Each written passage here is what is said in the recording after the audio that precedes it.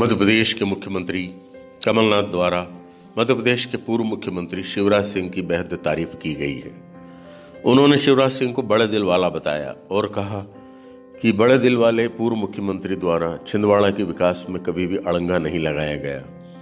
छिंदवाड़ा पहुँचे कमलनाथ द्वारा यह कहा गया कि प्रदेश में ब्लैम बैन की राजनीति नहीं करेंगे और योजनाओं को बंद करने या उनके नाम बदलने को लेकर भी कोई विचार नहीं है।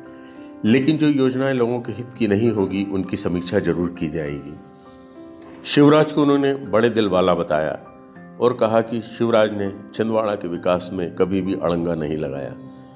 उन्होंने कहा कि योजनाओं के नाम स्वतंत्रता संग्राम सेनानियों या किसी क्षेत्र के नाम पर रखना चाहिए। हमें नए तरीके से सोचना होगा और छलांग लगानी पड़ेगी। उन्होंने यह भी कहा कि वेस्ट होने वाली बिजली का उपयोग किया जाएगा। उन्होंने अधिकारियों से कहा है कि ढाई हज़ार करोड़ की जो बिजली वेस्ट हो रही है, उसका कहीं न कहीं उपयोग किया जाए या फिर आदिवासी क्षेत्रों में इसे मुफ़्त में दे दिया जाए।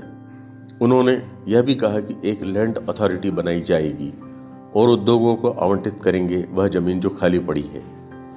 कई कंपनियाँ ऐसी भी है जो कब्जा जमाए बैठी है, उनकी भी लीज निरस्त की जाएगी। कुल मिलाकर पूर्व मुख्यमंत्री की वर्तमान मुख्यमंत्री कमलनाथ द्वारा की गई तारीफ़ को लेकर राजनीतिक हलकों में कई तरह की प्रतिक्रियाएँ सामने आ रही है।